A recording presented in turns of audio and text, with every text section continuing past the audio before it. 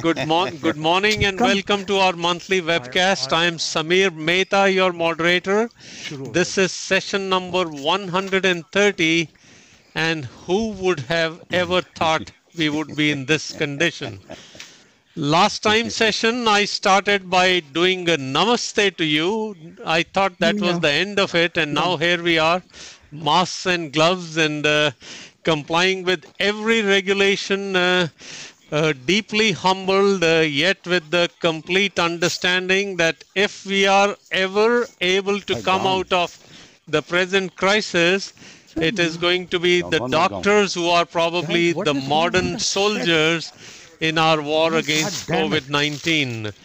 I hope all of you are taking ample precautions. Uh, we have a very special case today, and there was absolutely today should be a demonstration that a CCC live cases is never cancelled. Uh, we are here bringing you in a more innovative uh, fashion today something that you are also experiencing almost constantly in the cardiac cath lab. Uh, patients uh, with STEMI, how do you do? Sorry. These are not the elective cases, and uh, we are going to take you through a thorough discussion today about the pathophysiology, the cardiovascular manifestations of COVID. We'll again uh, discuss in detail uh, STEMI, what should be the protocols which can be safely followed, and of course, there is a tape case which we'll share with you. We also have a guest today, which Dr. Sharma will introduce, but without any delay, let me take you to the cath lab where Dr. Kini and Dr. Sharma. Here they are. Samir, uh, good morning. Uh, never ever thought in our lives we could have a day like this. Well, I can tell you absolutely, but with the our resources, we are still mimicking. We are in the cath lab as if we are doing the case. Although we are not doing the case, as we know, with recorded. But yes, the COVID-19 has really brought so many unusual, uh, unimaginable uh, things in our life. And I think the life post-COVID will never be the same what it was in the beginning. And uh, we, myself and uh, Dr. Kini, welcome all our CCC participants globally, and we thank for their support. And this, uh, the virtual case today, will have at least, at least not the live demonstration, but will have the same message of uh, educating, teaching, and updating in this field. With that, uh, I actually have a special guest here, Dr. Jagat Narula, who is the Chief of Cardiology at Mount Sinai Morningside, which is a new name for our old St. Luke's. And he has been a tremendous academician and will have a, has a great knowledge about the subject of COVID. So I invited him to make a comments from time to time. Jagat, we welcome you here. Thank you, Dr. Sharma. Totally honored to be with you here, and uh, I'm, I, I truly admire you and Dr. Kini that uh, you have uh, taken this initiative today that you would not be interrupting this absolutely uninterrupted series for uh, 10 years now. And uh, so basically, uh, uh, it's, it's, it's absolutely admirable. And thank you very much for bringing me here. And I would, I would try to assist you as much as I could. and, and particularly Samir. He has been the constant even for this. He flew yesterday and of course will go back. But I, Samir, thank you very much to keep this uninterrupted. We actually talked about the, do we do a Zoom conference and uh, your remote presentation? You know, we have been part of all. I actually personally, if there is a choice, there is no comparison of the webinar, the way we do with the video compared to the Zoom or Skype. So I'm glad that we are able to do it as we plan. So with that note, Anu, you want to start the So, comment on this and then we go. Yeah. Anu and Samir, there is first uh, disclosure I have to make that for the first time in 11 years that we've been doing it, I have been averaging more than twice the cases of any of you. Okay, so my That work with my work with STEMI intervention has proceeded, uh, and again uh, we we need to be taking all the precautions. Anu, take us through what is the plan for today.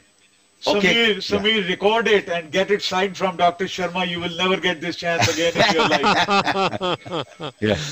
Okay, let's start the slide, uh, our uh, presentation, please.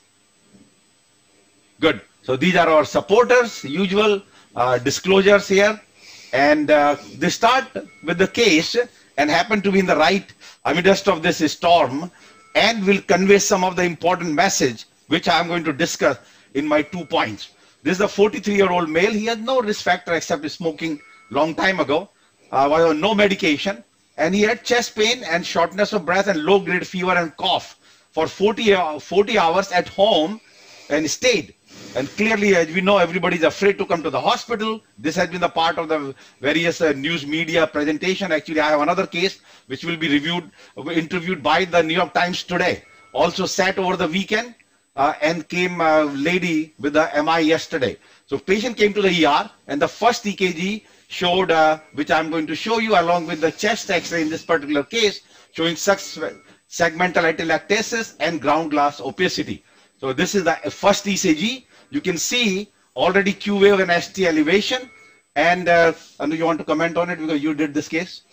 Yeah, this patient uh, presented to the ER with the chest pain, and if you see, same thing. I think he has been having chest pain for a while, but uh, refused to come to the ER and presented uh, late. So when he presented, he already had uh, Q waves in the anterior lead.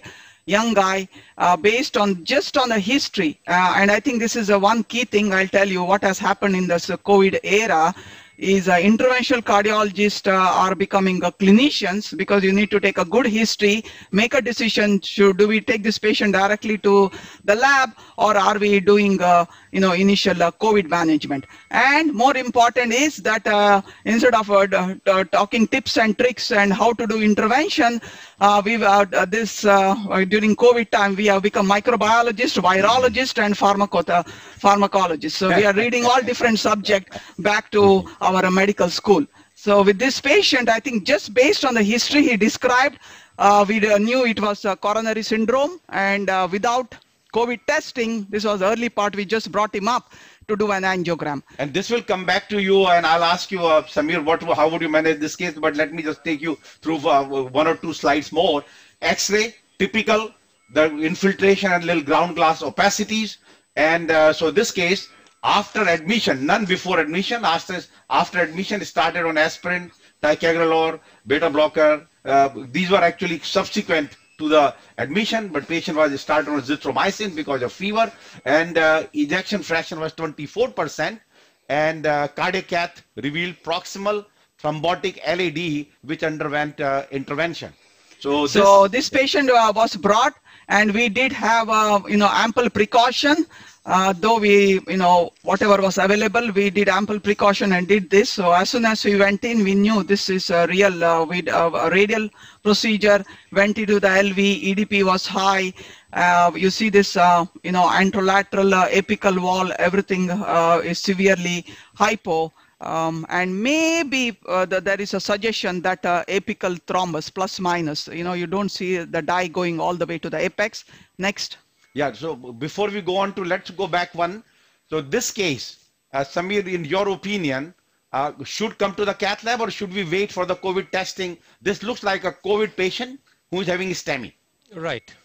So straightforward, uh, I'll, uh, you know, I think it's important for how people to understand. Initially, this would be straightforward. You're probably going to have a proximal LAD. I would have normally taken him to the cath lab uh, straight uh, with the guiding catheter and fixed the LAD with or without uh, aspiration. Now, the trouble here is uh, in the present crisis, uh, you need to be protective of the entire cath lab, including ourselves.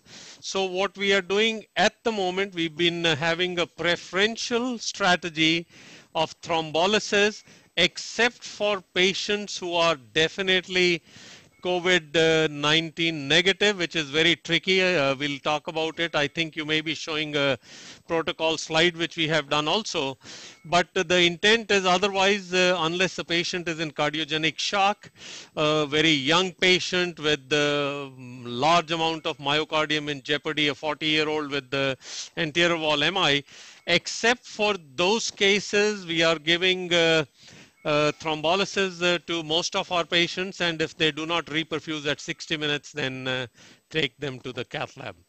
Very good point. So that is that is not that is yeah. that is not something I have uh, advocated or uh, practiced for uh, 20 years, but this is a protocol which has been decided not only amongst the hospitals where I take call, but also amongst the cardiologists in Miami. Absolutely, and I'll come back and uh, allude to that. And clearly, there's some places people doing this rapid testing, which is plus minus, and we'll take your opinion later. So this case went to the cath lab while waiting for COVID, knowing, as Anu mentioned, that life-saving young person, you need to save right coronary good.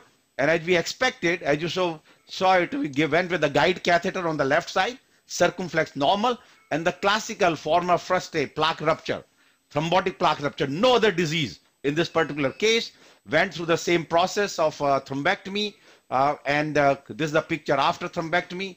Then a lot of thrombosis still, uh, and uh, the patient, as I mentioned earlier, ticagrelor was done on bivalirudin, stent was post-dilated, and uh, this is the the results after.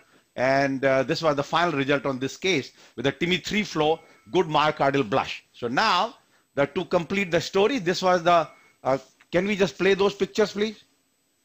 Uh, echo, they need to be played. Oh, it will play with this? No. So they had to be clicked on actually. Yeah. No? You should have. You, won't can know. click on. Yeah, now Okay, you we did. see it now, yeah. we see it now, Yeah. we see so it whole now. question is, uh, and you want to describe this echo with LV thrombus possible or so? No, so you see the septum and the base is moving very good. Apex totally, uh, I would say, uh, akinetic, and uh, the definitely uh, no trauma. You definitely have to give some uh, definity to see, but uh, based on this one, you cannot uh, uh, clearly define that there is thrombus or no. But uh, it does not look like it's thrombus in the apex. Good. Go next. And basically there were two EK, echoes done. In the cath lab ef was read 24% then patient had echo was 30% and the next day was 35% so this particular case now to complete the story patient tested positive for covid-19 antigen became afebrile on antibiotics and did well on guided medical therapy. Subsequent echo showed ef of 35% peak ckmb of uh, 182 units so he peaked actually at admission. So went down. So clearly had MI at home. So this is just to emphasize in this era that if you are having a cardiac problem, don't wait home. You need to get to the access to the medical uh, treatment. And uh, I know there is a concern about the COVID exposure, but at the same time, you patient should not wait and so that this kind of uh, serious cardiac event can occur at home. And we'll come back to this point a little bit later part of our uh, presentation. So this leads to the this is the new creature which we never knew about it, but very looks very fancy pictures. You see more and more uh, with the COVID, and actually that has become part of the cartoon and our real life now. And that is where the COVID, uh, and we are going to talk about the two important points. One is the cardiovascular system manifestation of COVID-19, and then incidence and management of stemming in STEMI in the COVID era. So starting with the the first one is actually I use this um, uh, the nice review in JAMA Cardiology about the potential effect of coronavirus in the cardiovascular system, which leads to I leave now let Anu talk about this uh, virus itself because she has done she as you may she mentioned she has become the virologist now. Yes, Anu. Yeah, so if you see that, I think uh, why they call this uh, coronavirus is because of the spike that looks like a crown. And uh, let me tell you the four subgroups of this. But what is uh, more interesting, when we got to know, is alpha and beta, and all the viruses that have come uh, to us uh, is from the beta family, which starts with MERS, which was in a camel to humans, and then became, you know, the coronavirus, which is they don't say it one, but the first one, that was also from bats to humans. And the current one, which uh, actually is called as uh, uh, SARS-CoV-2, but 19 because it started in 2019. And that, that also was uh, from uh, bat. Now, the question always is, there is always a reservoir, which is a bat. And then uh, you, they always say that you need a carrier or a vector. And that is, I think the studies have shown in studies done in Australia that a pangolin and an animal um, is the one that becomes the vector and finally man becomes the host and i think what this coronavirus has you've seen that uh, spikes which is very important that is the s protein and that s protein goes and attaches to what is called as uh, ace2 um, uh, you, know, receptors now uh, we have seen so many symptoms and most of the symptoms are uh, in uh, respiratory. Why?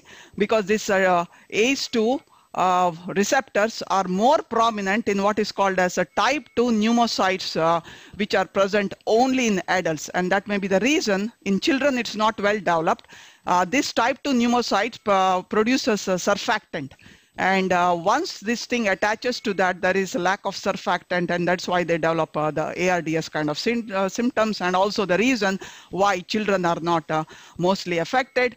Arteries of what is called as the cholangiocytes ileum colon and that is why they have GI symptoms.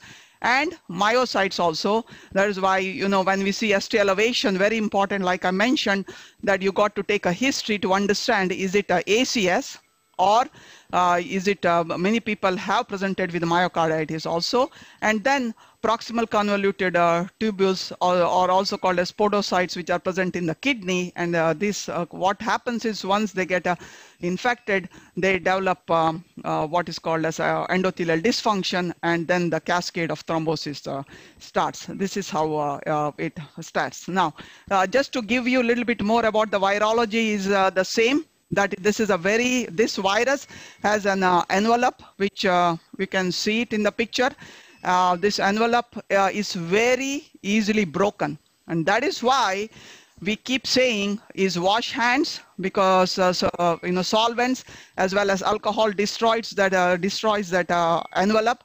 Um, and most of it is stable but still there is what is called as 10% mutation which is very important that we need to know because the genomic sequence that was done all around the world, we found that there was 10% uh, mutation, uh, not uh, in, in, this virus.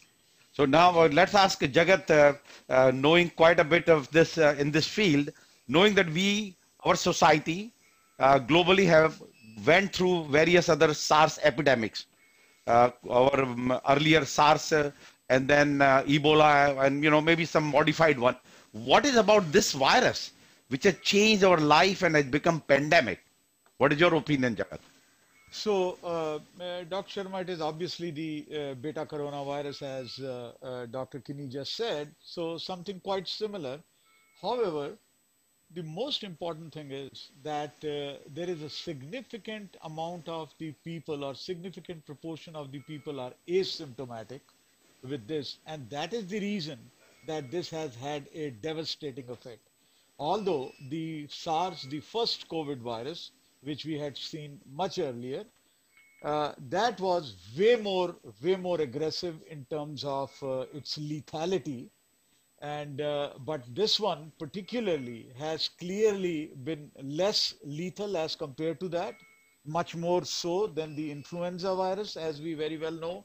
But since these are all asymptomatic cases, at least 30% of the cases are asymptomatic. It is believed, although the New England Journal of Medicine paper, which just appeared from uh, uh, New York itself, where they had seen it in the pregnant women, it was expected to be about 15% of the people were COVID positive pregnant women when they came for, for delivery. So at least 15 to 30% of the people are walking around with this virus and that is what makes it more dangerous as compared to anyone else. And that is why it has become extremely important extremely important from the public epidemiological standpoint that we maintain the social distancing the lockdown should be followed and most importantly that we should be doing as many tests as possible. And as you would see that the countries who have done exceptionally well in this case for example south korea for example, um, now India and uh, the China after uh, its uh, initial debacle, uh, that they have been testing vigorously and uh, that is the reason that they have been able to isolate these people so that the spread of the disease could be prevented. So the most important thing is that till we find a cure, till we find a prevention, the best prevention is to be able to avoid the contact here and uh, the the infectivity of the virus. Specifically, when you look at the R naught of it, the R naught of it was expected initially to be about 2.2, but now we are seeing that it is hitting around 6 to 7, which essentially means that one person who is infected infects about 6 or 7 persons around him, which is too much of a transmission. No, very important. uh, Now, let's see both of them. I just wanted to complete this uh, uh, on this issue. And uh, uh, Samir, then you'll ask uh, that any opinion, is this virus replicate more fast, faster than other viruses? Or what is, uh, or it's just about the same? So nothing to do with the replication. It is just uh, that it's quite a bit asymptomatic and it goes to so many other people. I anything? Yeah. yeah, yeah, I think uh, like uh, Dr. Narula mentioned, is the transmission uh, is a problem and it is transmitted mostly uh, through the same uh, respiratory. Means uh, if uh, anybody coughs, sneezes, or even while talking, uh, this uh, virus comes out. And I think the, uh, you're showing the life cycle there, uh, the, exactly what happens, that it enters through the membrane and once it is there since it is envelope envelope get dissolved then the mrna comes out. It goes to the host uh, you know uh, ribosome that is where more mrna is produced the new virus comes out and uh, this is a replication and more of the like it said asymptomatic people are walking around talking sneezing and uh, it just given to um, uh, everybody else and uh, symptoms only appears thankfully in uh, maybe 10% and of that uh, maybe 3 to 5 becomes critically ill um, of these uh, people Okay, Samir, your question? Yes, uh, well, first of all, Anu, it's good to have you as a resident virologist in the cath lab. Uh, uh, I thought I had seen enough with the interventional cardiologist doing uh, coronary complex interventions uh, to structural heart to yoga, and here is the virologist. So, but a wonderful uh, uh, overview. Jagat, three specific questions which I can guarantee you are on the minds of our viewers. Number one, what is the status of remdesivir? No, that will come back later. We'll come Okay. back to the, the treatment. Yeah. What else? The Uh, treatment the will second, ask him no, absolutely. no. yeah. Then, yeah. then again, the next two are uh, going to be chloroquine and the status yeah, status treatment. of Yeah, no, vaccination. then will come. We'll, yeah, we'll will come, come. back to that. Right time. Yeah, okay? abs- absolutely. One thing I would like to add, uh, uh, Samir, here that uh, uh, as uh, uh, you were just talking about the mutation part, whether the virus mutates as fast as the HIV virus or not, Anu has really mutated here into a virologist, so that part is quite sure. the one other thing which I would like to ask Dr. Sharma before we move forward, it is a 43 years old person, a male who is an ex-smoker. Only went five years ago he stopped, uh, uh, he quit smoking. Would you call it a plaque rupture at all? Because these are such clean coronary arteries and it is in the proximal lesion. If at all there is an atherosclerosis, minimal atherosclerosis, I don't know uh, what exactly it was, but uh, there are two possibilities here uh, in from the pathogenesis perspective. If you truly believe that there was a 10%, 20%, 30% uh, lesion in a setting of a smoker where the ground substance has changed and all, it could have been plaque erosion. Right. One. Or two, that now with the COVID that we are seeing aggressively, that there is a possibility of not only the venous side thrombosis, it is, and that, that happens with all the viral diseases, be it uh, uh, varicella or be it foot SARS or be it dengue fever or whatever we can think about, it all happens there. And can it just be a simple clot which is formed? And uh, whether it's a platelet is formed, a clot, or it is a red clot, or whatever else it is, we do not know. But uh, this uh, uh, thrombosis in situ could have been a direct result of a COVID because there's no doubt about it that the case was a COVID case. Yeah. So I would say that, yeah, you're right. Uh, if I'll ask Anu to say, from my point of view, I have to put a bet on a uh, plaque rupture, uh, plaque erosion, or in situ thrombosis. I would say in situ thrombosis number one, then maybe erosion, and lastly the plaque rupture is unlikely in this particular case where other arteries are so pristine clear. Pristine, Anu, what do you think? No, I think I would go to what uh, Dr. Narula said because this patient uh, was COVID positive. Uh, this is uh, most likely related to COVID itself. If this, uh, if it was not in the setting of the COVID where we are trying to do procedure, uh, what we say minimally invasive. We already are minimally invasive. We probably are becoming super minimally invasive because I do not want to expose uh, more, um, you know, my fellows and our uh, cath lab staff to more uh, of, the, of this patient during COVID time, we should have done an intravascular uh, uh, OCT to understand what it is, but I think it is in situ thrombosis related to endothelial dysfunction uh, due to COVID. Because in the angiogram, you can see a nice big chunk of thrombus. That's why we try to aspirate. We got a little bit of a thrombus out, but still, since late presentation, was uh, still a lot which disappeared after we stented and did a post dilation. So now also we talked about that how long the virus can last. There are a few slides I'm going to show you with the temperature wise, with the steel, Yeah. cardboard, and so yeah. So what this study actually uh, presented in New England Journal, what showed was the same that uh, once the virus is up in the air, right? Like I just mentioned, how it gets transmitted, uh, usually by coughing, sneezing, talking, the virus uh, comes out aerosolized and uh, it is up in the air. In the air, it can be in if it's a closed room, you are it's uh, circulating three to four hours, and uh, there is this theory: you open the door so that uh, there is more aeration and the virus disappears. If it goes and sits, sits on any hard surface, so if you see there, copper is the lowest, but more important, what do we face on our in our daily life is uh, any kind of a hard surface, which is plastic, stainless steel, and cardboard. They say is like a cloth. So it sticks to everything, including your hair. That is why you got to walk around with a cap when you're in uh, the hospital.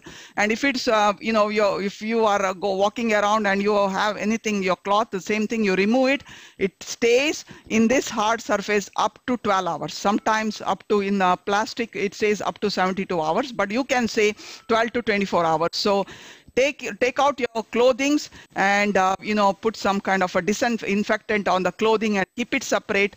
Do not take it home. And uh, other surfaces we know that's why they're saying uh, do not touch and uh, wear gloves or uh, you have to keep cleaning uh, these surfaces since this virus gets killed by any kind of a disinfectant. So that was an this was an important paper to tell us why is this social distancing and cleaning the hands cleaning all the surfaces is uh, very important.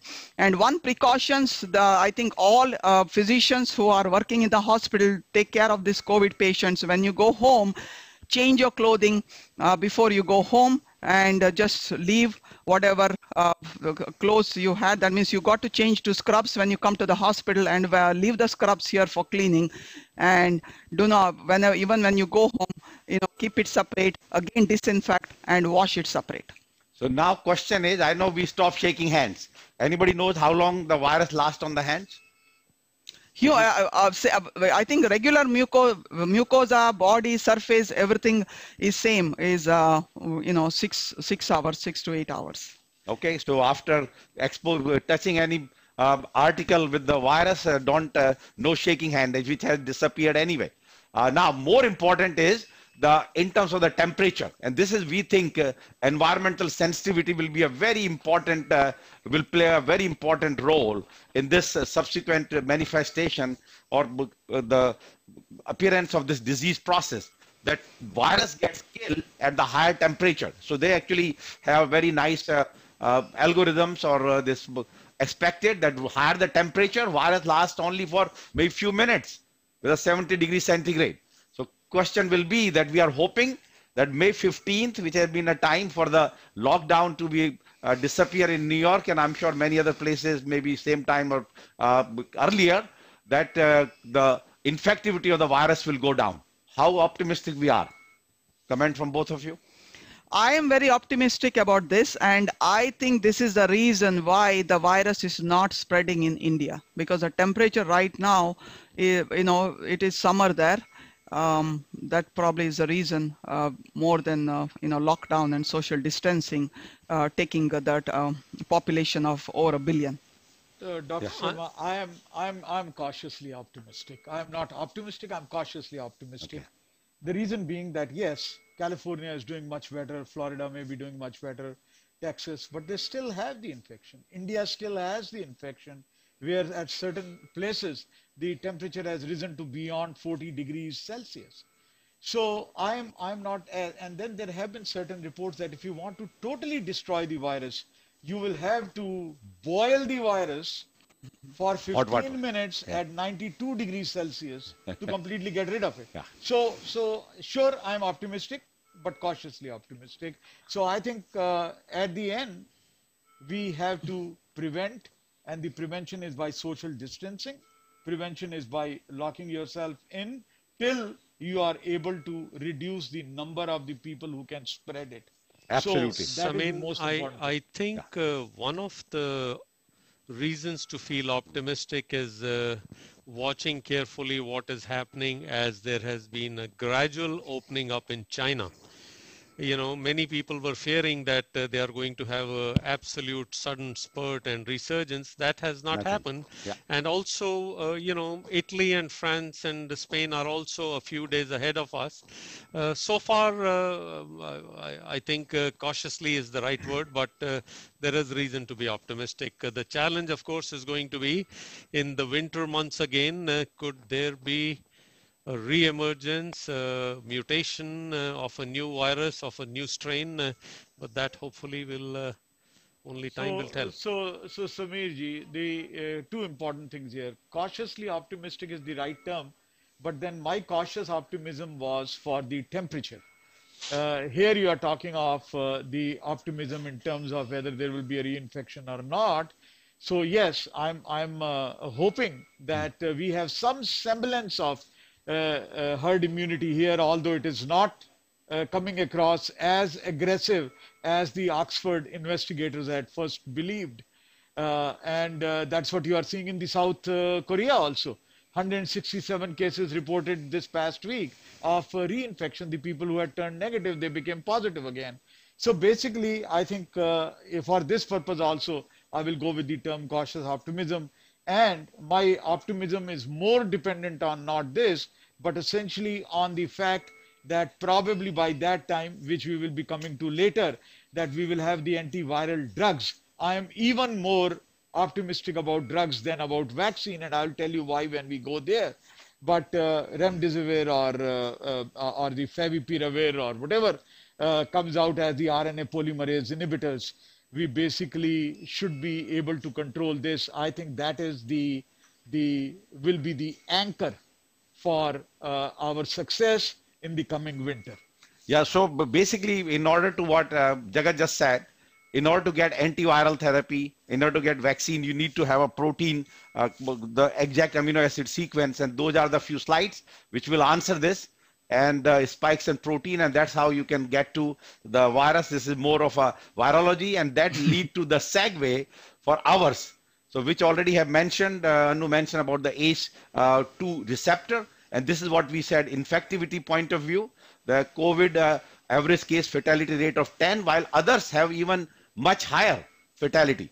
So overall, the in the data has been that uh, about uh, you know anywhere from one to uh, 12 percent overall mortality uh, in the COVID 2, and uh, the infection is one person can give to uh, three people, and so and so forth. So this is uh, basically uh, tons of contact. We have already spoken about various of these aspects, and uh, the key is that all uh, the, there are risk group which has been identified patients, particularly the older age, underlying comorbidities like diabetes, cardiovascular disease, cancer, chronic obstructive disease, obesity. Obesity somehow uh, is very important factor in both occurrence of the virus and that subsequent complication of the virus with the morbidity and mortality. Uh, somehow the children and infants are spared, although some cases have been there, but overall uh, it uh, does not happen. So now we actually have a very good data from the New York City proper. 393 consecutive patients of the COVID-19. They made a very rapid registry and published in NEJM yesterday. And it turns out to be, as you can see, that high invasive mechanical ventilation, uh, the deterioration occurs in some patient and about one third of the patient require mechanical ventilation. These are the individual data of New York City. Now we are not talking about China, Italy or Spain. Right in New York City, average age is 62. Those who require invasive mechanical ventilation versus no invasive, that means more aggressive disease on the middle one compared to the right side. Age and male, somehow preponderance of male. As you can see there, obesity and other factors. The, the risk factor point of view, the symptoms are here 80% cough, fever, dyspnea, myalgia, diarrhea, vomiting. They did not report any neurologic symptom, which have been reported in some other studies.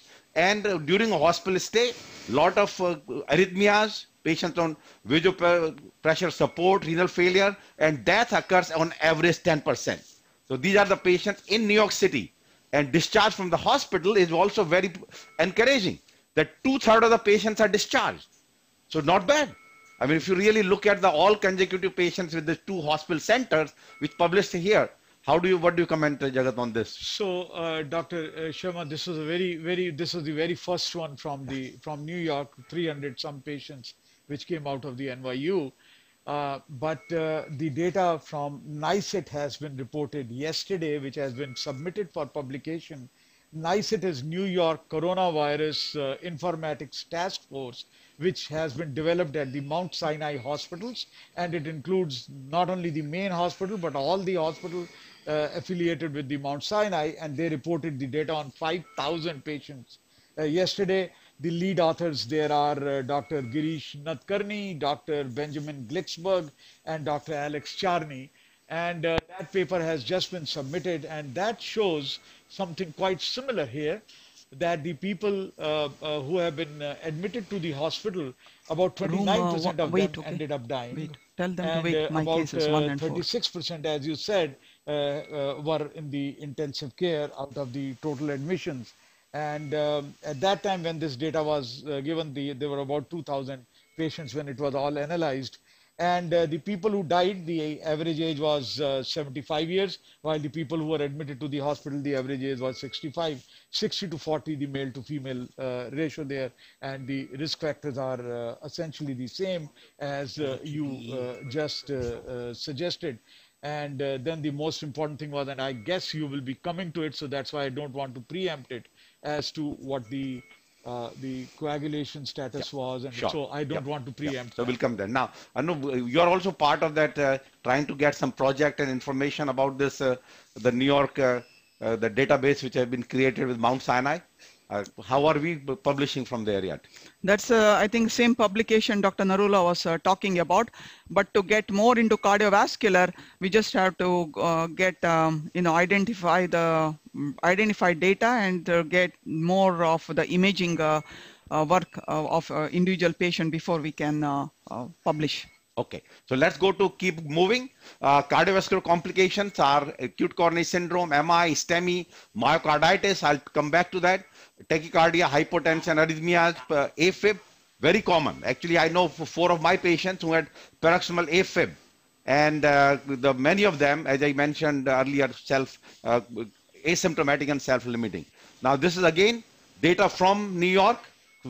Clearly, I think to me that's more contemporary. What it lasts for 18 patients, STEMI patients done at uh, various centers in New York.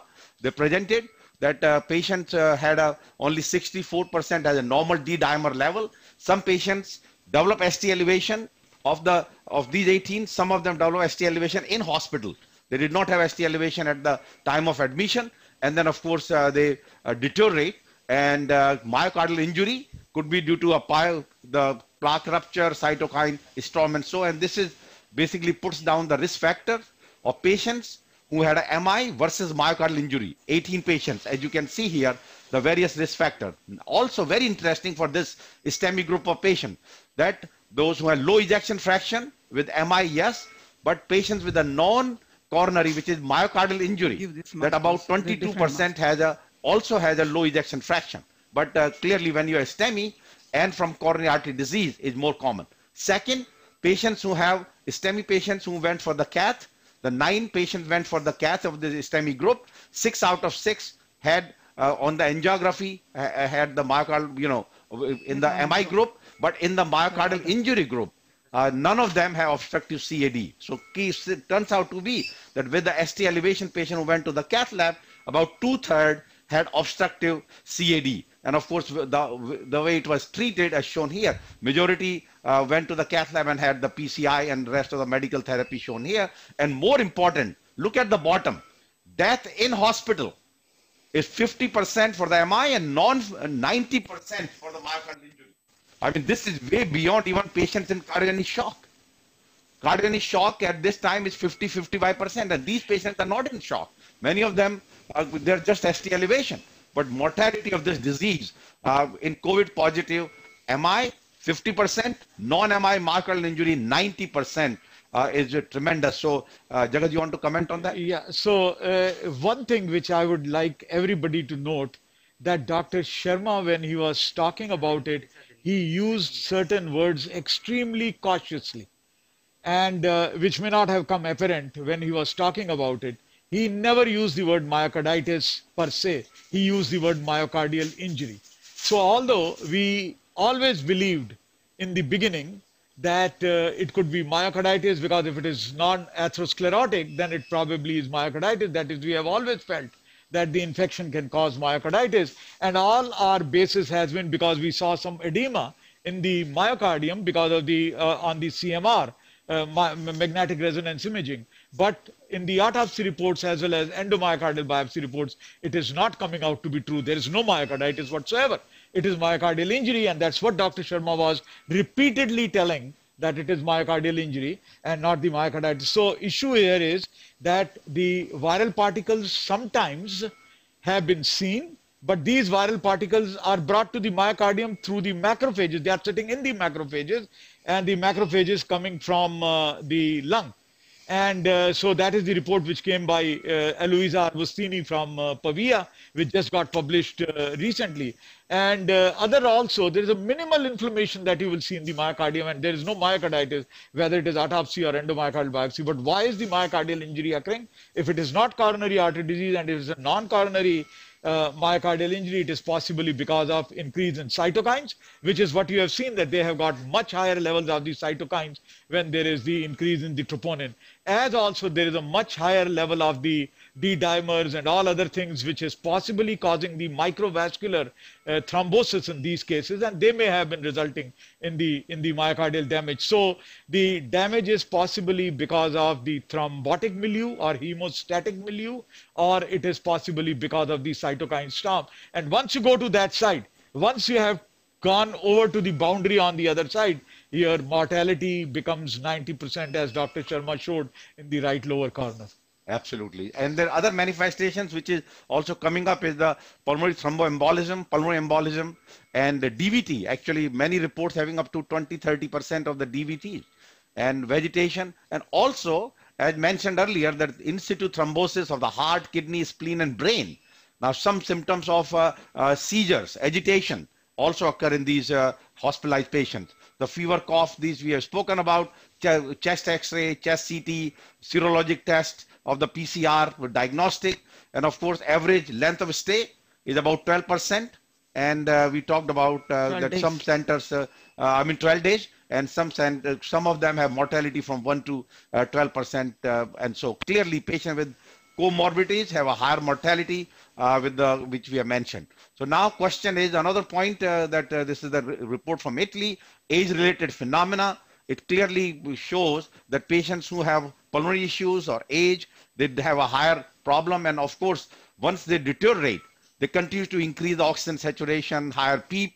Uh, and so, and then this is another study from uh, the causes of death. Uh, there's various factors, uh, patients on admission who survived versus died. And it turns out to be all related to, uh, as uh, mentioned uh, by Dr. Narula, that the cytokines is, besides the predisposing this factor, the cytokine measurement uh, really helps to prognosticate these patients and really create a, a subsequent uh, the prognosis. And of course, patients, uh, you, you, know, once they are positive, people ask, once you are positive and the symptoms start, how they, long they last, usually uh, 12 days, and the virus become positive in many of these cases. And these are the increasing, particularly patients in the red bar, those who die. All these parameters uh, and markers continue to increase compared to people who do not die. So it seems to be those who are dying having this severe inflammatory cytokine reaction and correlating. One of them which really come up is the myocardial injury, which is measured by troponin elevation, um, usually more than two times.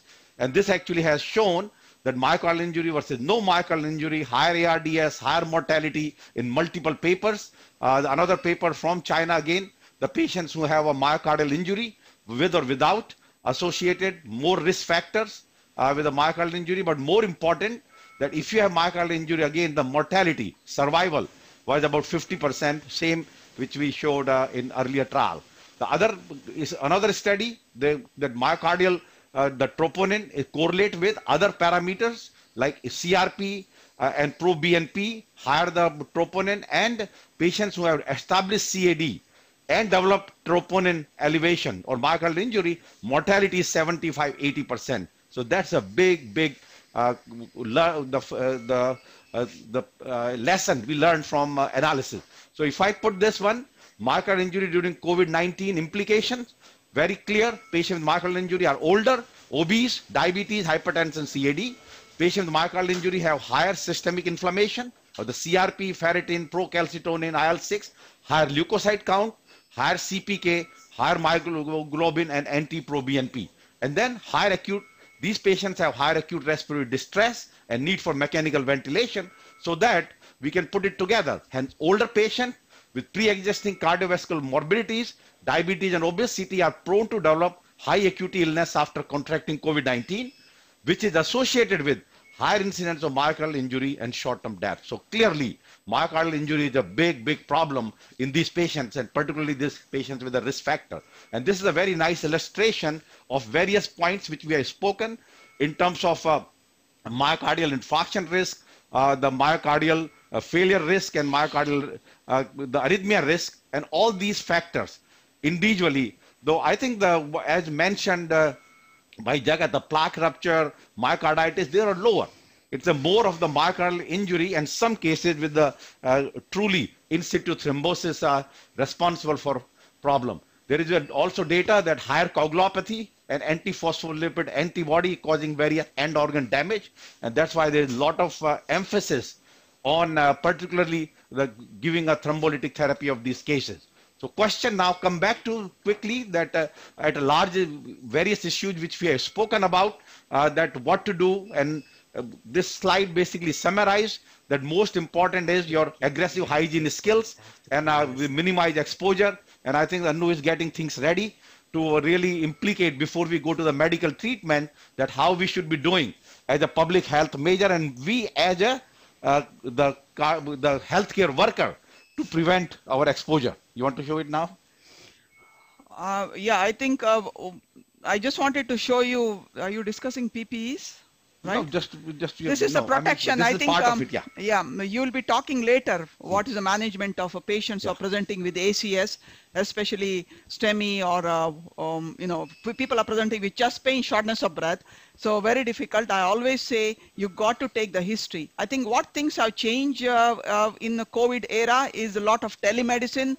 Uh, in the initial part when it uh, just started, uh, you know, I, I, had sent fellows down to the ER for evaluation and they, they did get uh, infected, which I feel really bad. And since then, we are doing telemedicine, even with ER consultation, looking at the EKG, uh, listen to the history, and then making a diagnosis if this patient needs to come to the lab immediately. Now, if they have to come to the lab immediately, everybody, the hospital has provided a full uh, PPEs. And I think I just want to show if they can say what the yes. PPEs that we normally use.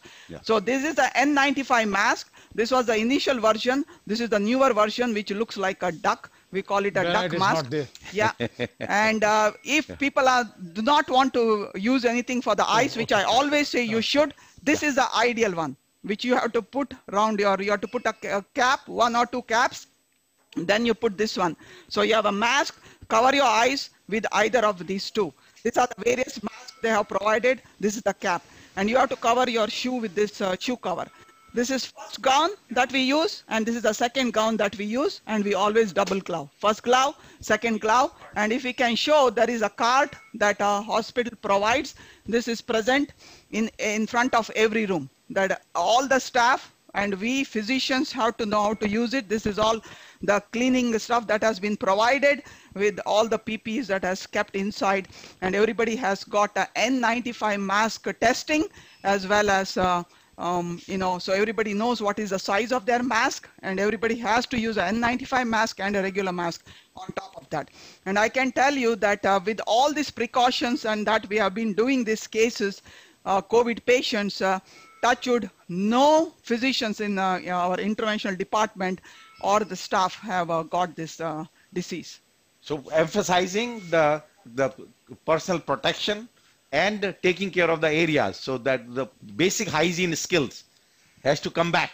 And to me, one of the simplest one is washing your hands. And this is, uh, you know, really uh, the usual, I would say, the Indian ritual that before eating, before meeting, before anything, you used to wash hand. Everything is coming back uh, to here.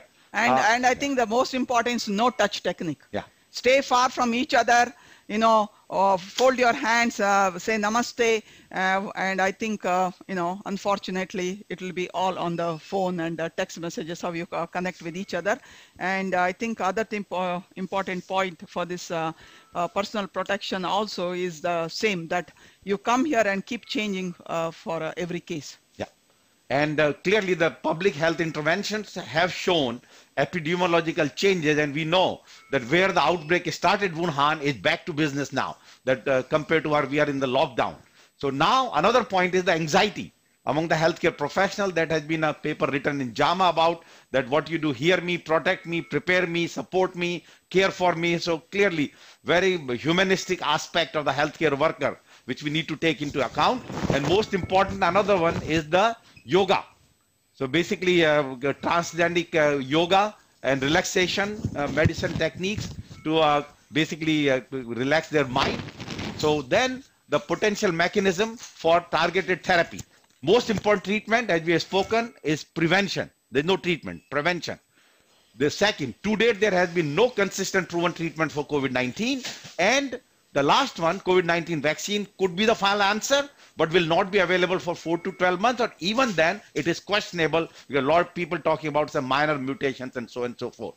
So therefore, uh, the, till we have a specific therapy, we are, need to treat patient for their cardiac problem as such and uh, appropriately. So very nice paper in JAMA on about uh, pharmacological treatment of coronavirus disease. And you want to talk about how the virus gets into the cell and various therapies which are working. Very nice illustration. I really liked it and I'll uh, ask uh, after no Jagat to comment on where, which drug. I know you mentioned briefly that which will have the best uh, chance to fight it. Anu, first you. Yeah, so you see that uh, the virus uh, is uh, sitting on through the spike. It's sitting on the receptor and then then gets into the host uh, cell. And once it is uh, in the cell, it requires some protease enzyme to cleave the envelope, and that's what they call as uncoating. And then the RNA strand. This is a long RNA strand. Uh, you know, comes into the cytoplasm. Actually, you need to show the ribosomes also there. You know, the site it gets into that. Uh, there is replication. I think the, that is where we are talking that all these antivirals could work at various levels uh, of this. And once new RNA is formed, which is on the right hand side, then again there is a new structural protein that will come. New virus is formed, and uh, you know comes out, which is called as exocytosis, and that's how the replication happens, and the virus is ready to be transmitted. Good. Now, knowing that uh, Jagat, every day or every other day, we hear a good news, this, this medicine working good. Second day, we say, oh, you know, the, another trial showed fail. So based on all of this, you tell me your prediction, what will be we're talking about after a month, making it into a regular clinical practice? So, uh, uh, Dr. Sharma, it is uh, anybody's guess to be very honest uh, with you. But as you can see here, that there are so many of them which we have shown, and all the pathways have been very beautifully depicted in this diagram. The two places which I am most hopeful are number one, when we are saying that there is an increase in the cytokine. Now, these are the different phases. So, once the viral infection is occurring, I think we first have to stop that.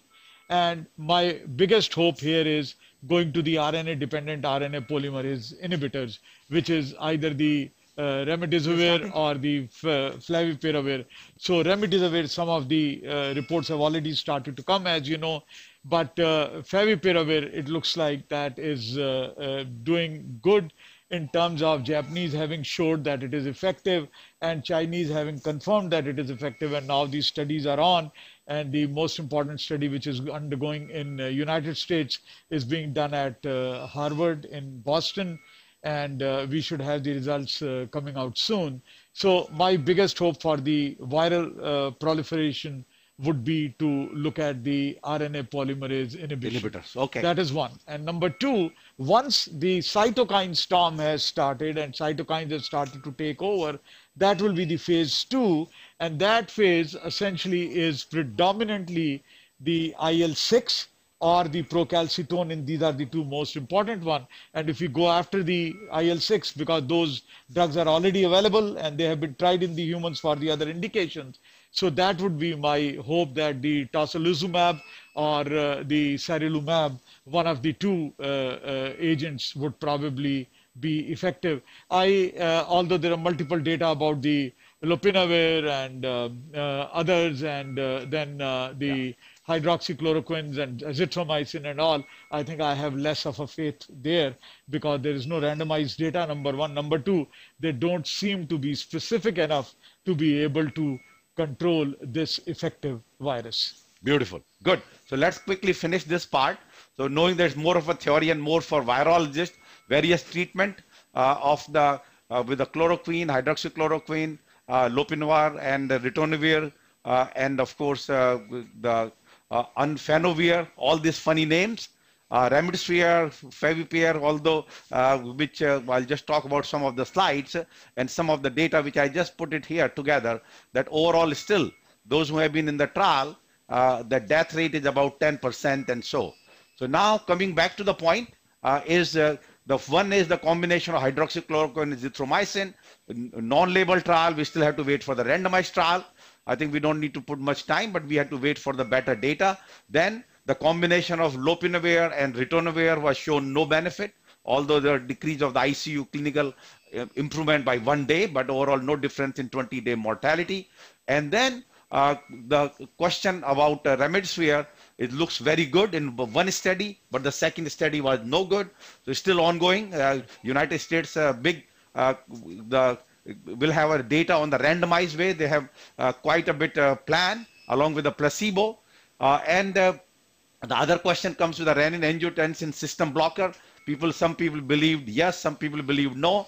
But overall, maybe Anu can talk a little bit on this issue because knowing that if you're blocking the angiotensin receptor on AR2 is the host uh, for our, or like catchment uh, receptor for the virus. So could be beneficial or could not be beneficial. You want to highlight Anu on this? First, let me tell you why uh, there was initially that uh, discussion that the patients who are on ACE2 inhibitors uh, probably likely to have, uh, um, you know, more disease is because if you see this pathway, you see angiotensin, uh, renin uh, converts uh, to angiotensin 1. So uh, ACE inhibitor works at angiotensin 1 to angiotensin 2. So when that ACE inhibitor is working, then you see that inhibition of that happens, angiotensin 1 is goes higher, which gets converted to angiotensin 1 or 2. So there's inhibition of that. Then what happens? Angiotensin 1 goes to angiotensin 1 to 9. ACE inhibitor is upregulated. ACE 2, you know, that is upregulated. So when it is upregulated, the, we already said this virus loves this receptor and probably that is why patients were getting the disease. That's one theory that was only shown in the animal study. Uh, other theory is also that, um, you know, this angiotensin 1, angiotensin 2 or are uh, uh, pro-inflammatory and that could be another reason.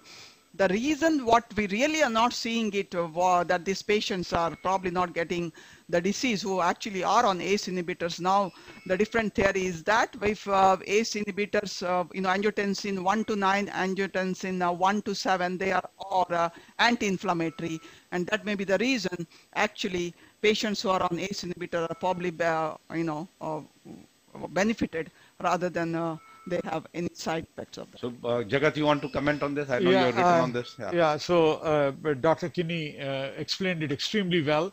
Uh, but the fact remains that uh, once you have the ACE uh, uh, presence of the ACE, and ACE and ACE2, as you know, are the homologs. They are, they are quite similar. Yep. And uh, they are both surface on the surface, like on endothelium and other, they are they are both there, and they are the counterbalancing hormones. So ACE ACE is more of uh, like causes the vasoconstriction, while the ACE2 will cause dilatation. One will cause uh, the sodium and water retention. The other one will cause the natriuresis and diuresis. One will be oxidative stress. The other one will be uh, the oxidative stress reliever with the nitric oxide increase and all uh, in the in the endothelium and all. So ACE2 basically is the protective molecule here.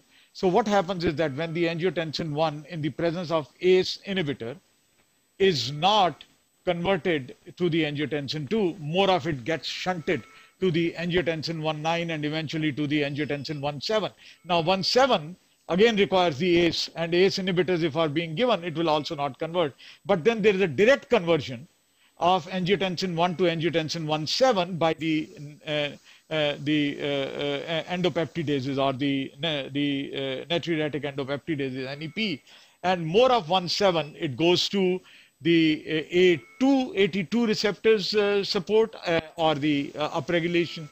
not upregulation of its over dominant activity and the MAS1 receptors, which are all protective receptors. So, if the patient is on ACE inhibitors, or is on angiotensin receptor blocker, likelihood is that the angiotensin 1-7 would be more effective through the MASH receptors and would have a protective effect, which you can very easily find in a wonderful uh, review in JACC, which just appeared three days ago by Dr. Jeffrey Bender, and I was uh, uh, luckily the co-author of that paper. Very interesting. So this point, so basically uh, there are various studies going on this aspect, but more important, all the uh, societies have said, don't take this medicine away, right? Uh, key is that if you are on ACE inhibitor, do not change it. And uh, one of the in this group, Camostat mesylate uh, from Japan apparently is undergoing some trials. So now, very quickly, convalescent plasma for treatment of COVID-19, very early stages. A few centers doing it, including Mount Sinai. We still need to wait for the results, but seems to be very good that patients who are recovered from uh, COVID take their plasma can go up to four patients. An FDA approved trial ongoing, but it is done within seven days of exposure. After that, patients start making their own antibody. It doesn't. It is not effective. So the, they have a very clear-cut protocol, and hopefully we'll know in this promising aspect.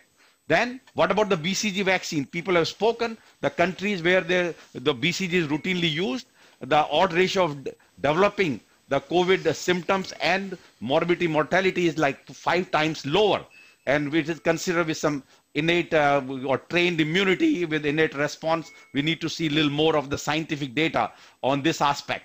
And then issues remains the coagulopathy. More important, we actually have done Mount Sinai very nice anticoagulation algorithm, particularly patients who are high risk with increased oxygen requirement, increased D-dimer, creatinine, CRP. The values are written below.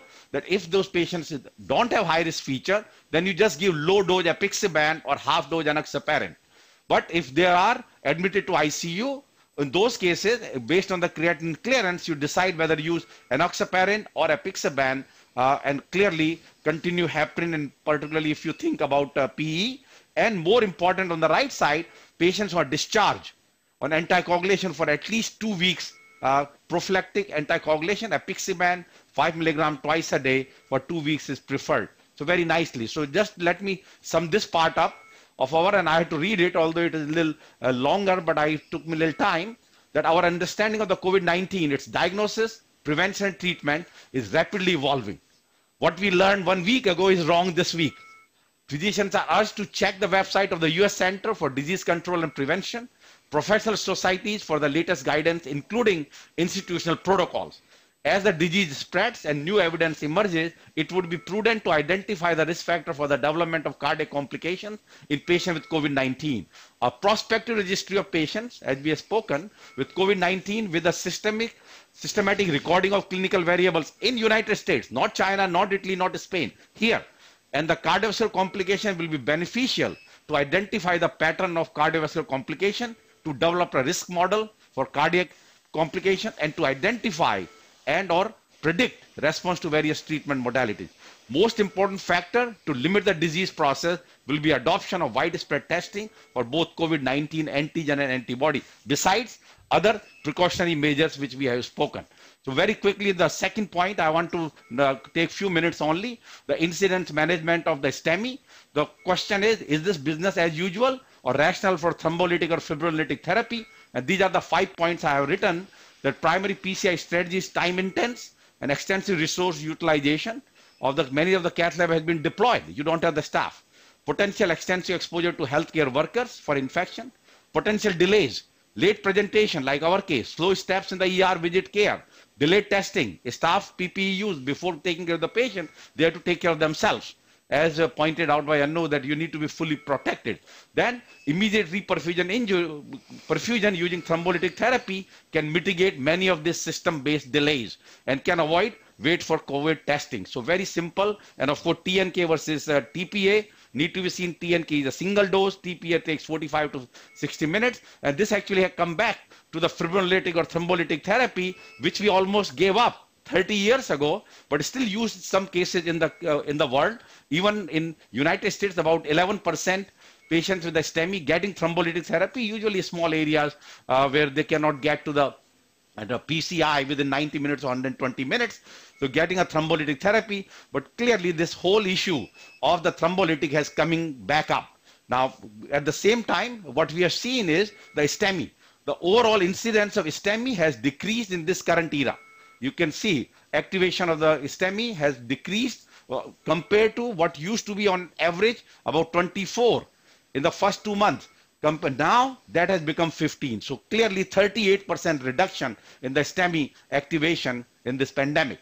Now therefore, you say, well, if those who need it, you can use a thrombolytic therapy. And what has been shown, the pharmacoinvasive approach, that you do a thrombolytic, but then patient gets the cath within 24 hours or get after 60 to 90 minutes if they fail.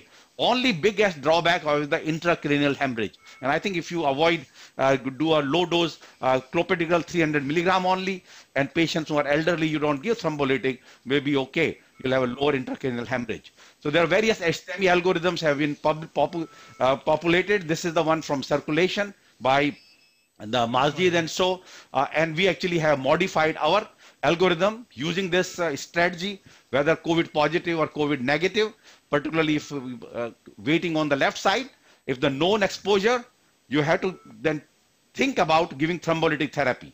And of course, PCI only for when there is a failed rescue PCI or contraindication. And otherwise, you do the business as usual if we know the COVID is negative. And of course, absolute contraindication of thrombolytic, we very well know. But more important, what we learn is if you're COVID positive and you have a lot of comorbidities, overall outcome is bad. The classical case which we showed New York State, uh, New York City, uh, the 90% mortality, many of them, those are myocardial injury, STEMI elevation with myocardial injury, 90% mortality, mortality. Probably they don't need to come to the cath lab. Just treat them medically with those uh, comorbidities we have answered there. And if there's no comorbidities, then of course you go to a thrombolytic therapy and uh, patient who are hemodynamic unstable, then you use a cardiac cath and angio and of course the LV support. And uh, they, but if thrombolytic fail, you always have to bring the patient is otherwise viable, does not have comorbid, comes back to the cath lab and you decide what to do. This is your algorithm. Actually, it's really uh, very nice, simple one, uh, Samir, particularly using your rapid COVID test, which has some question how accurate it is. But yes, if you have a rapid data, will be very useful uh, to take care of this. Now, other just came out this morning about uh, from ACC. I had to just learn a little more, but I included this. What is the recommendation uh, from uh, ST elevation on the electrocardiogram based on the symptoms and combined decision. So more important, one point I just want to complete our presentation with the STEMI issue is what we have seen, significant reduction in STEMI uh, during COVID-19 surge. The question is why? 30 to 70% reduction shown everywhere. Uh, it's a paradox as STEMI incidence increases during influenza season and respiratory illnesses. So question is why?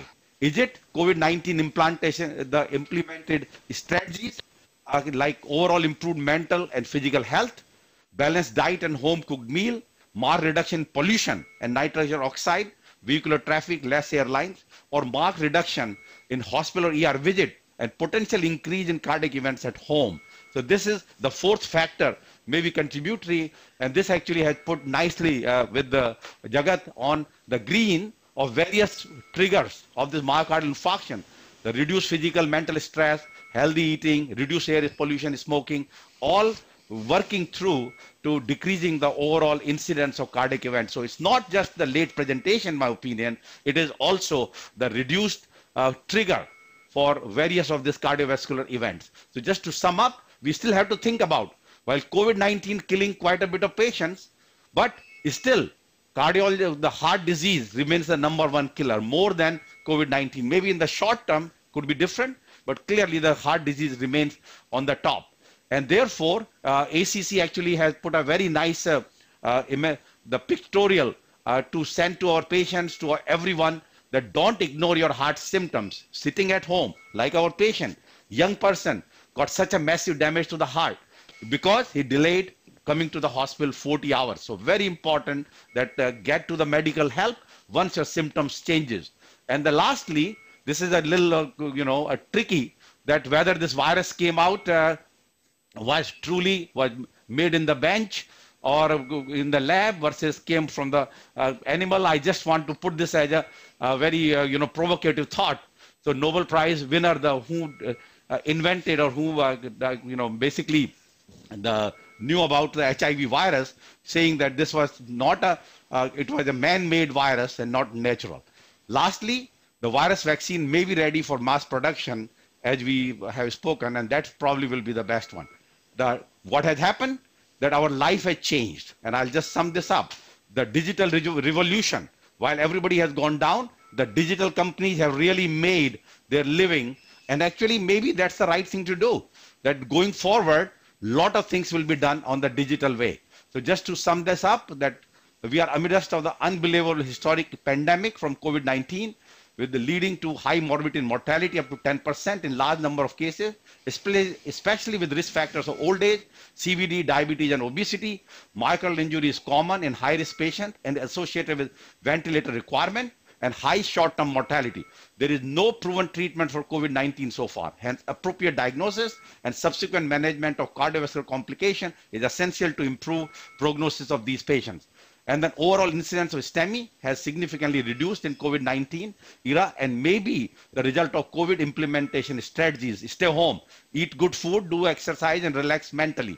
Patients presenting with STEMI and possible COVID exposure PUI or COVID positive may be better served with thrombolytic therapy rather than primary PCI to avoid staff exposure. COVID STEMI should continue to get PPI. COVID STEMI negative should get uh, regular PPI. So three questions. Following are the conditions predisposing to COVID-19 except age 65, diabetes, obesity, age less than 45 and COPD. Clearly the answer is D. The second question, following statements are true regarding cardiovascular manifestation of COVID-19 except myocardial injury, arrhythmia, STEMI is always with normal coronaries, in situ coronary thrombosis, and pulmonary thromboembolism. Clearly that uh, many of those patients will still have obstructive disease, not the normal coronaries. The last third question, following our suggested factor responsible for lower STEMI in COVID-19 era, except concerned about coming to hospital for COVID exposure, excessive eating and drinking, better physical and mental health, lower pollution, higher medication compliance. Clearly, the answer will be the excessive eating and drinking is not happening because you're not getting your re restaurant food. And I'm sure soon the alcohol will be limited also. Yeah, Anu actually has something to show. Yeah, we are done here. Okay. Next question. So I, with that, I complete my presentation, yes. I know you were going to share something else with us. Uh, no, uh, I think uh, he mentioned right. the, about uh, exercise and uh, yoga. Um, just, you know, one of the things that I think we are promoting during this time. Uh, I agree the, the most important reason, you know, why everything is done, people are home, uh, this social distancing, but that's not how life is going to be. There's also a lot of damage that's happening to the younger generation with social distancing, closing schools. Uh, the usual life is uh, not there. Um, I, I, just wanted to focus on uh, exercise as well as uh, yoga. I think something that may help because since this uh, virus goes through the respiratory system, um, we, something that I promoted on my wellness website is benefits of I don't know if they can show benefits should, yeah. of uh, you know pranayama, which is uh, can we see that better? Pranayama, yes, which yes, is uh, we, we, we see it a little more uh, focused. That's much better, uh, Philip. Uh, yeah, good. There we go. Yeah. Yeah. So essentially, you see that in this uh, breathing. Yeah. Yeah, Kapalabhati breathing, uh, which is also called as uh, pranayama breathing. What uh, helps uh, is that um, you know deep breath definitely improves your alveolar opening. You know, normally what happens is many of us are do shallow breathing right? When you take a deep breath, which means your diaphragm has to move down, your belly also expands. So there is, um, you know, your diaphragm gets stronger, your chest gets stronger, as well as your abdomen gets stronger. And more important is that your alveoli, which are at the base that normally don't function, will start functioning when you start practicing this uh, deep breath. And uh, the also theory that when you do this breathing, there's a lot of uh, what is called as cleansing that happens may be important during this uh, COVID time that uh, you can do this breathing. This is uh, on my Instagram page as well as on my uh, wellness website saying that there are uh, three components, but essentially nice deep breathing through the nose and then a full exhalation, forceful exhalation. But more important is deep breath. And you'll know this if you have to practice this properly, it's not that easy. You may think, oh, it's simple breathing, but try to do exactly the way it's been explained. It's not that easy, but try to do it at least, uh, you know, eight to 10 times, three, four times a day. Okay. Good. Very useful. Uh, Samin, a very important uh, question comes uh, after you're uh, showing the slide from stream.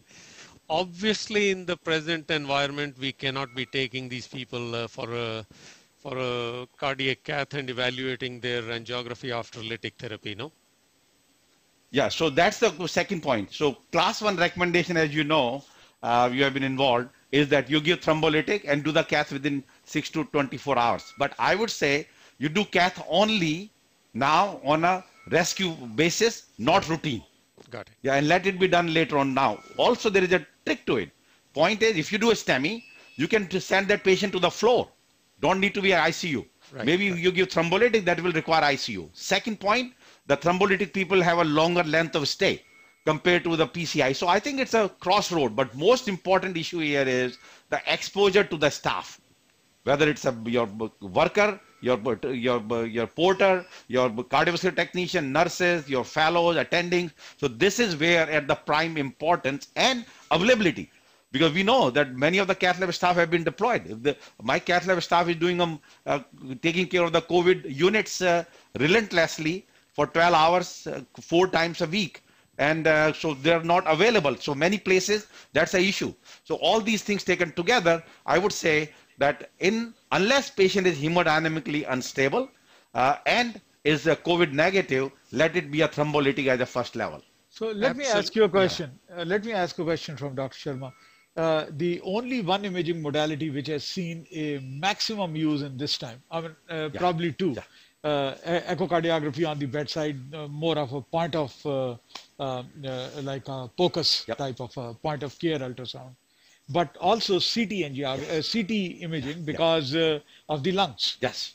What about the CT angiography in these cases when you are in doubt rather than bringing them to the cath lab? Very good point. So we actually had dealt with those two patients in last three weeks who presented with the looks like COVID and uh, had the lung involvement and uh, require a little bit, uh, you know, different gating. And so, so one patient, they said diffuse CAD, but not obstruction, but it's multiple. Other one was not. And those both, both patients were managed medically. But yes, CT angio in a questionable case is very important, gives you the right answer, whether, because we know, we saw it. ST elevation actually more happens with a myocardial injury than the truly obstruction, which we have seen in the 90, 18 patient report from the New York City. So it's a, the CT angio uh, with a quick diagnosis or triaging these patients will be very helpful. They are not ready to do CT angio if uh, not knowing uh, the PUI status. That may be also so that issue. also delays. So if there is a delay and you want to uh, decide on one test, uh, probably cath lab is a better uh, place to get a, a definite diagnosis. Um, and as you see, we are all fully equipped. Um, I think one point I need to add there, uh, when you see these patients in the ER, if there's a definite uh, exposure of COVID, and there are comorbidities that we already described, and that patient is coming to the ER with the so-called, uh, you know, definite uh, story of a STEMI and EKG shows ST elevation, these patients have a mortality about 60% higher. Or 90% in our New York State data. Yeah. I mean, New York City data. 90%. So those patients are nothing wrong in saying I think it's uh, medical therapy is not a is a best option, uh, both uh, in the presence of STEMI as well as uh, COVID, uh, you know, uh, presentation. Anu, the Okay. demonstration of the PPE, I'm sure, will be extremely beneficial uh, to our viewers. Uh, we have also implemented something extremely simple that any patient coming to the cath lab, we also put the mask on the patient. I think Yeah. that's a very simple and useful step. Uh, Yeah. Jagat, thank you for sharing so much of your profound intellect. Uh, it has been a pleasure having you here. There is one last uh, very controversial thing uh, which I'm going to ask you. I don't think it has any answers, but with the 5,000 experience in New York, you think we have been over ventilating patients? I don't think I can really answer Okay. that question. I I understand that I completely. can uh, And, uh, um, try to answer that question. I don't think we are over ventilating the patients. Um, though I can tell you, based on uh, the governor uh, who has tried to get a lot of ventilators, if you see um, Elon Musk has uh, uh, gave ventilators to Sinai. We have uh, uh, present a lot of ventilators. They're trying to do, you know, uh, uh, double ventilation, which is not that easy. Uh, both patients should have same, uh, uh, you know, vital capacity and all these things. When the, there is guidelines written by, by these ICU people, like they have presented the anticoagulation guidelines, only if they need it, they will do it because what they have seen, once they have gone on the ventilator, they are on the ventilator three to four weeks or longer. And then subsequently they get, uh, you know, uh, later on uh, develop complications because they're on a ventilator for a longer period of time. So they are doing it only if it is uh, when uh, it's necessary and based on their protocol. So uh, I would I would add to that a bit in the sense that the reason I said that I do not I can't give the answer to that is that when to bring them on to the ventilator is a very important question and obviously there are guidelines from the intensive inten, intensivists and all but uh, the important thing is that if we have gone too far probably we have made a mistake. So in that term starting it early probably does not mean that it is over ventilating. So in the right terms, I cannot answer the question what he asked. Jagat, But uh, on in the on- philosophical uh, way, I think I would be Yeah. going more with uh, what you on on a practical illustration i can tell you that i thought the best managed patient uh, uh, globally has been the prime minister boris johnson. And whoever made the wise decision not to intubate him that day i think uh, did a remarkable job. I thank you all for an amazing session. I have no doubt that uh, viewers will find this uh, extremely important. Uh, people related to the cath lab area who are frightened uh, interventional cardiologists trying to find the best algorithms uh, how to treat these patients uh, jagat tell me any final thoughts you have Yeah. So uh, when you were talking about the Boris Johnson, uh, there is no fun uh, that I'm trying to make here. Probably he made the decision himself. maybe maybe uh, but but i think uh, whoever you know in the on a sunday night when he's moved to the intensive care unit i think uh, intubation at that time may have changed the course of british history. Anu? Uh, I just, uh, you know, showed all the PPEs, and I think for the, all the cath lab staff out there and everything, you it has to be very. Uh, everybody should know that the reports that have come out, all the publications that have come out from China, uh, that healthcare workers were infected, physicians at younger age were infected. All these people in the early part did not know anything about this virus, and they were taking care of the patients without any protection. And like I mentioned, so we are doing these cases with the protection uh, exactly the way I've described. And if we do that, we can take care of the sick patients and protect ourselves. So these PPEs are very important and they have been provided and everybody has been well trained. So once you use PPE, you can take care of this patient. I do not want uh, people out there to be frightened that uh, you should not take care of this patient. We are here to help them during this uh, important crisis. Okay. Samin, uh, I'll conclude by quoting from a recent editorial I wrote uh, about the role of physicians in COVID 19. Uh, I do not think, and I, I'm, I'm confident I speak for most physicians, uh, I do not think that uh, we are asking at this moment for any recognition. This is precisely the reason we became doctors. The only thing we require is uh, better protection for ourselves and our colleagues in the hospital and for patients to take all the precautions so that they do not end up in the hospital. I hope uh, this session has been extremely useful. We will see you during the next session on May the 19th. Thank you. Thank you. Thank you.